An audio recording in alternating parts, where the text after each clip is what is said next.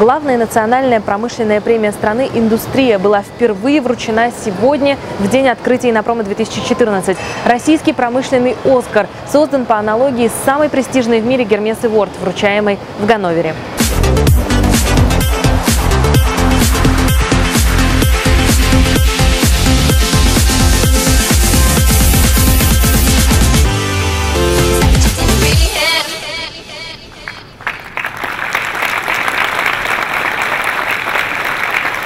Победителем первой премии индустрии стала компания «Биокат», разработчик уникального проекта по созданию инновационных препаратов на основе моноклональных антител.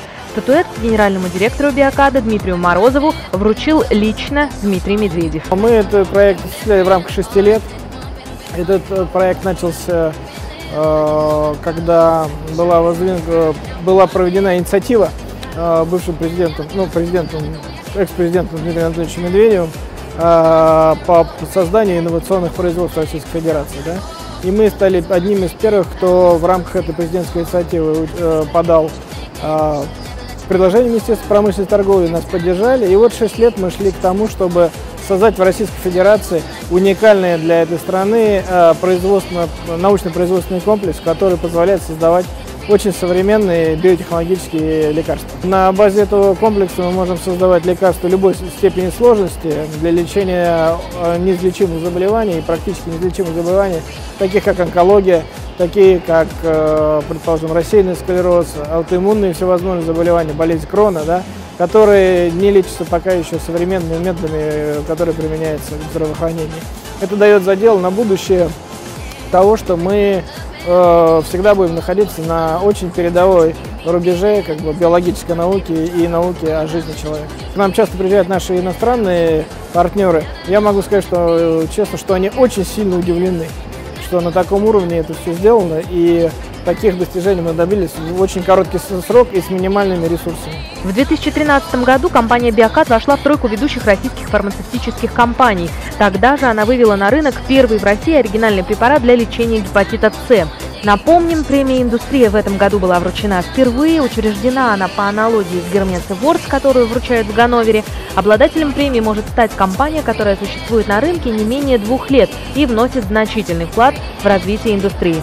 В этом году на индустрию претендовали пять компаний из разных областей промышленности. Мне лично дает некое удовлетворение то, что мы э, делали очень сложный проект, который являлся действительно вызовом как бы в современной, в современной России, потому что он потребовал большого, э, большого количества освоения новых технологических приемов, получения большого количества научных знаний и так далее. Вот. Одновременно с этим это дает очень большую импортонезависимость для как бы, Российской Федерации, потому что мы можем делать аналогичные продукты, как есть у современных ведущих фармацевтических компаний, а может быть даже и лучше. Вот. На некоторых этапах даже может быть лучше. Мы это дает и я думаю, что это большое, помимо э, косвенных эффектов о том, что создает целое, целое поколение молодых ученых в этом задействовано, вот, создается большое количество рабочих мест, плюс еще это реально, наверное, будет большой экономия для бюджета Российской Федерации, которая, э, когда они будут покупать, когда Минздрав будет покупать продукты у нас, а не за рубежом, как сейчас происходит. Да, приятно, но ведь понимаете, какая штука, эта награда, она э, ко мне относится в меньшей степени, в большей степени относится к тому коллективу, который этого достиг. А они, к сожалению, не здесь. Они сейчас в Москве, в Санкт-Петербурге, еще во многих местах, где по всему миру, где они сейчас работают. Поэтому эта награда в основном те, предназначена тем людям, которые создают успех нашей компании.